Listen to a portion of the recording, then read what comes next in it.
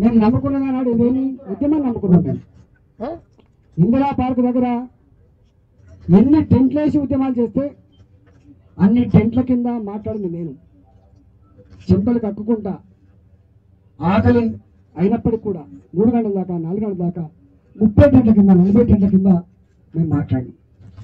తెలంగాణ ఉద్యమాన్ని ఆకాశానంతా ఎత్తెత్తాలని సమైక్య రాష్ట్ర పాలకుల మెడలు వంచాలని ఆనాడు అనేక సంఘాలు పెట్టించాం ఆంధ్ర సంఘాలు విడగొట్టి అనేక సంఘాలు పెట్టించాం అలా తెలంగాణ బొగ్గుగని కార్మిక సంఘం ఆర్టీసీ కార్మిక సంఘం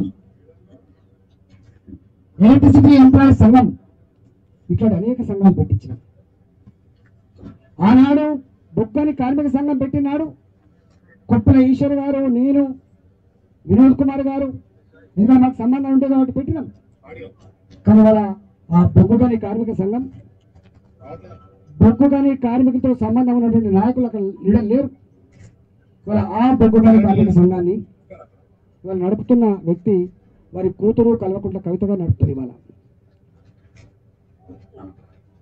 మరి బొగ్గని కార్మికులతో సంబంధాలు ఉంటాయా? కనీసం అక్కడ నల్లాల వదిలి గారు ఉన్నారు మాజీ ఎమ్మెల్యే గారు అక్కడ మంత్రి ఉన్నారు కొప్పుల ఈశ్వర్ గారు.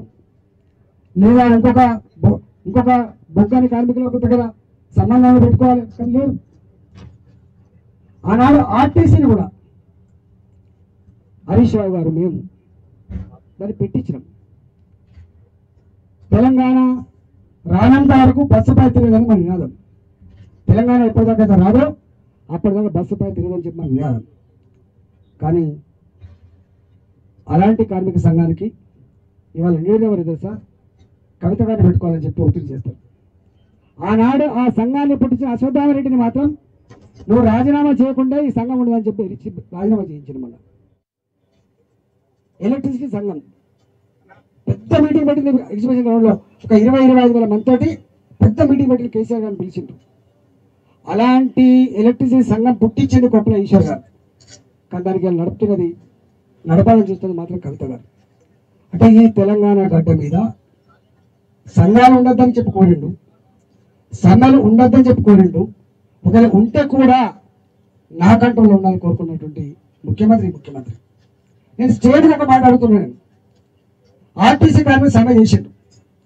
రెండు నెలల వరకు కూడా రెండు నెలల వరకు కూడా సమస్యను పరిష్కరించకుండా వాళ్ళు పిచ్చబెట్టుకొని కన్నీళ్ళు పెట్టి అనేక మంది చచ్చిపోయింది వాళ్ళు. ఓ అయ్యా మమ్మల్ని ఆదుకో. మమ్మల్ని క్షమించమని చెప్పి కోరిండు బ్రహ్మ దేవుడు కూడా కాపాడలేదని చెప్పి స్టేట్మెంట్ ఇచ్చింది ముఖ్యమంత్రి గారు.